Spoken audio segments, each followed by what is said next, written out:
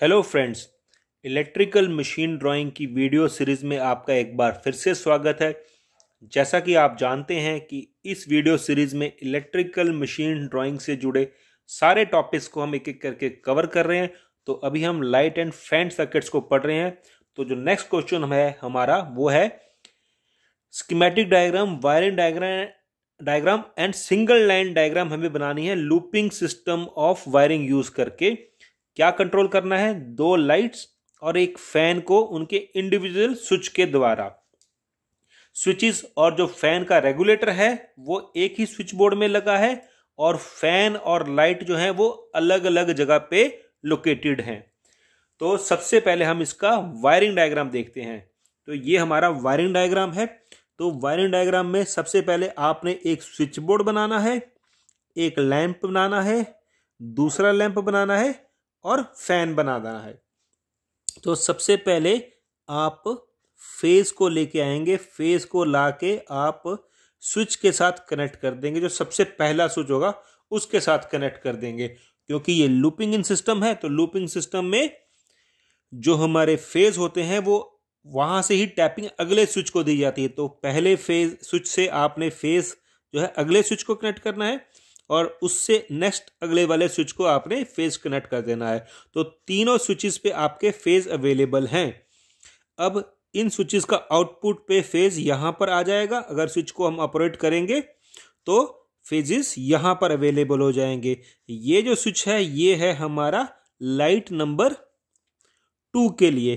तो यहाँ से लाइन नंबर टू को आपने कनेक्ट करना है। L2 को फ़ेज़ कनेक्ट कर दिया। ऐसे ही जो ये स्विच है आपका थर्ड वाला, ये आपने L1 को कनेक्ट करना है। और जो बीच वाला स्विच है, वो आपका फ़ैन को जाएगा, लेकिन रेगुलेटर के थ्रू होके जाएगा। तो स्विच स्विच का आउटपुट यहाँ पर और ये फ़ैन को आएगा और फ़ैन से आपने एक आउटपुट निकालनी जो कि फ़ेज़ ही होगा, ये फ़ैन को चला जाएगा। तो इसी तरह, इस तरह से लैंप वन लैंप टू और फ़ैन पे आपके फ़ेज़ आ चुके हैं। अब करते हैं इनके न्यूट्रल की बात। तो न्यूट्रल जो है सबसे नज़दीक वाले लोड को, जो L1 सबसे नज़दीक है L1 पे कनेक्ट कर देंगे। क्योंकि ये लूपिंग इन सिस्टम है तो लूपिंग इन सिस्टम में जंक्शन बॉक्स यूज़ नहीं होते हैं।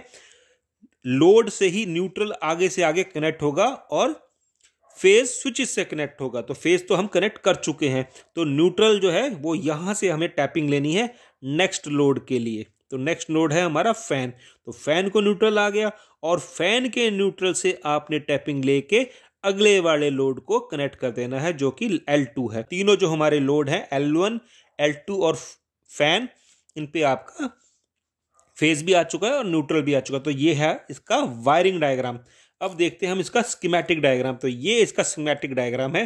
स्कीमेटिक डायग्राम क्योंकि ये 220 का सर्किट है डोमेस्टिक सर्किट है तो इसमें एक फ़ेज़ होगा और एक न्यूट्रल होगा। तो सबसे पहले हम L1 की बात करते हैं तो फ़ेज़ फ़ेज़ जो है स्विच को कनेक्ट किया गया स्विच का आउटपुट लैंप को, और लैंप का आउटपुट जो है न्यूट्रल के साथ कनेक्ट हो जाएगा। ऐसे ही लैंप टू में भी इसी तरह फेस जो है, वो स्विच पे आएगा। स्विच का जो आउटपुट है, वो लैंप को कनेक्ट होगा और लैंप जो है न्यूट्रल से कनेक्ट हो जाएगा। ऐसे ही अगर हम फ़ैन की बात करें तो स्विच स्विच के बाद रेगुलेटर और रेगुलेटर के बाद फ़ैन और फ़ैन का जो आउटपुट है दूसरी साइड का, वो न्यूट्रल पे कनेक्ट हो जाएगा। तो ये स्कीमेटिक डायग्राम हो गया। अब हम इसका देखते हैं सिंगल लाइन डायग्राम तो सिंगल लाइन डायग्राम में सबसे पहले हमारा बनेगा यहाँ पे स्विच बोर्ड जैसे कि ये स्विच बोर्ड है तो स्विच बोर्ड के अंदर आपने तीन स्विचेस दिखाने हैं वन टू थ्री ये तीन स्विचेस हो जाएँगे। इन स्विचेस को किसी लाइन से, किसी वायर से आपने कनेक्ट नहीं करना है। साथ में इसमें क्या रहेगा? एक रेगुलेटर भी है। तो यहाँ पे आप स्विच नंबर टू क्योंकि रेगुलेटर के साथ कनेक्टेड है तो स्विच नंबर टू के ऊपर आप रेगुलेटर दिखा देंगे। एक छोटा सा सिंबल रेगुलेटर का दिखा देंगे।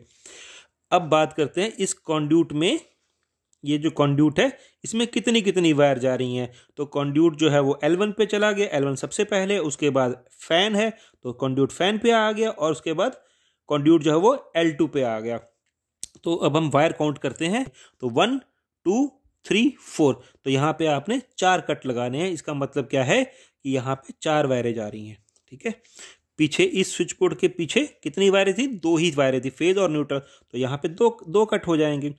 अब स्विच बोर्ड से लैंप वन के बीच में कितनी वायर जा रही है? One, two, three, four. यहाँ पे चार cut. One, two, three, four. Then lamp one को कितनी वायर आ रही हैं? एक फ़ेज़ और दो न्यूट्रल। तो तीन वायर हो जाएँगी। तो यहाँ पर भी आप वन, टू, थ्री, ऐसे तीन कट लगा देंगे। इसी तरह आगे जो लैंप से फ़ैन के बीच में कंड्यूट है, उसमें वन, टू, थ्री तो तीन कट आ जाएँगे। नीचे जो फ़ैन को जा रहा है, उसमें अगेन तीन वायर है। One two, three. तो यहाँ पर भी तीन कट दिखा देंगे आप। ये जो कट आपने दिखाने हैं, ये एक ही लेवल पे दिखाने हैं। नेक्स्ट फ़ैन से जो लैंप टू को जा रहा है, वहाँ पे सिर्फ़ दो ही वायर रह जाती हैं। तो यहाँ पे वन एंड टू, दो ही वट कट जो है यहाँ दिखाए गए हैं।